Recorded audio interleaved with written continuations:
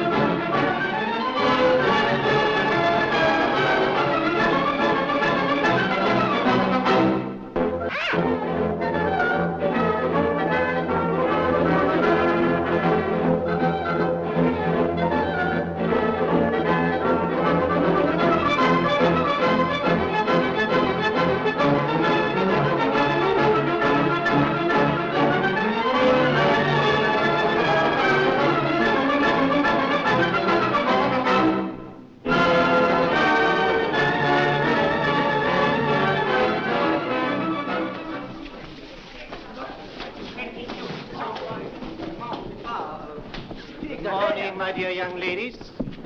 I hope I find you all very well this morning. There are just one or two things I would like to say to you today. As you know, the ballet is leaving at Saturday for Paris. Now, I can't imagine anything more enchanting than being able to invite you, all of you, to accompany us there. But I'm afraid this great pleasure must be denied me. To those whom we must regretfully leave behind, I'd like to say just this, please. Don't be discouraged. The fact that we can't take you with us doesn't mean that you're bad dancers. It just means that this year, unfortunately, we haven't got enough room. Now, will you please step out, Miss Fain, and you, Miss Baines, and you, Miss Hardiman, and Miss Longman, please.